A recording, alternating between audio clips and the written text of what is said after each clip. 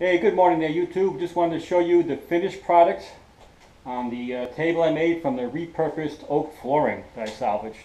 Here it is.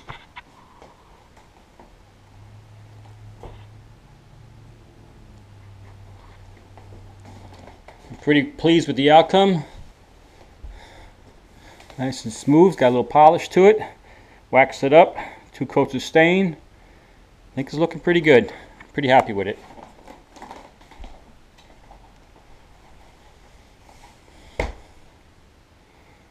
All right. Next thing is uh, start getting ready for my trip. I got about uh, three weeks or so before I leave, maybe four. I'm not sure what date I'm leaving yet.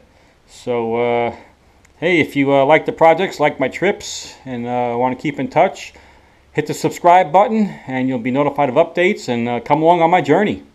See you on the road.